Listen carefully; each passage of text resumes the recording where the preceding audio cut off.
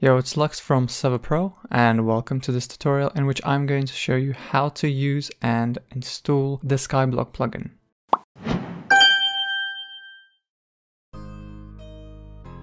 It's a simple plugin which allows you to create and play on a Skyblock map by yourself or with friends. This is a plugin for the Bedrock version, however please ensure you're running the PocketMine server type.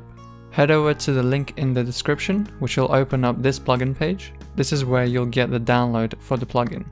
Then right click the direct download button and select copy link address. Because this is a direct download, you can download it straight onto your Server Pro panel. Find your way into the plugins folder on the panel, press the upload file button here and under the upload from web section, Paste the link you just copied and then press the upload button. The plugin should automatically download for you. Now restart your server and you're good to go.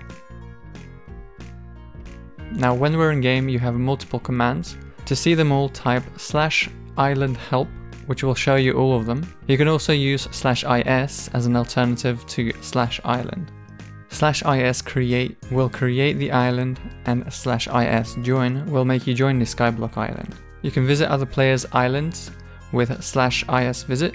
If you don't want others to visit your island, you can just type in slash is lock and that will lock the island for you so no one else can visit. To invite players to your island, type slash is invite and then the player name. And to let players build on your island, type in slash is cooperate and then their player name. There are other commands which are pretty self-explanatory, so make sure to check them all out and experiment. Let's quickly go over the config. Locate the settings.json file and in here you can change the starting items in the starting chest. So let's say I want a diamond sword in here. All I have to do is put the ID of the diamond sword, which is 276, and then once you create the new island, you will have a diamond sword in the starting chest.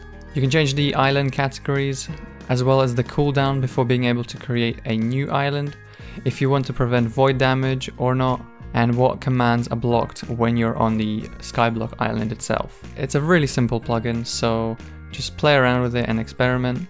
And yeah, apart from that, I hope this tutorial was helpful.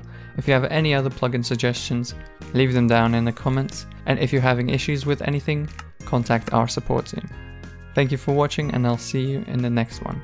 Goodbye.